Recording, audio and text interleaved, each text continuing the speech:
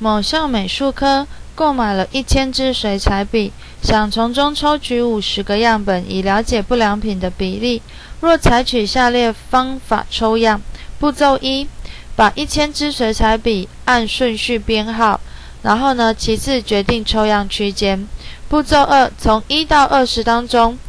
简单随机抽出一数作为起始点，例如抽出十五，那么每二十支水彩笔就把第十五支水彩笔抽出来，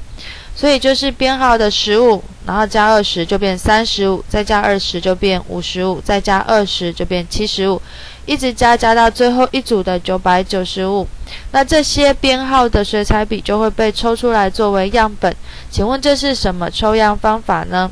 好，那关键字在哪？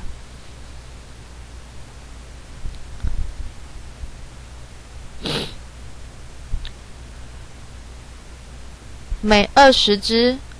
就把第十五只抽出来，所以从十五加二十就变三十五，加二十就变二十，呃，变五十五，再加二十，所以一直加二十。好，所以这个就是有系统的来抽样，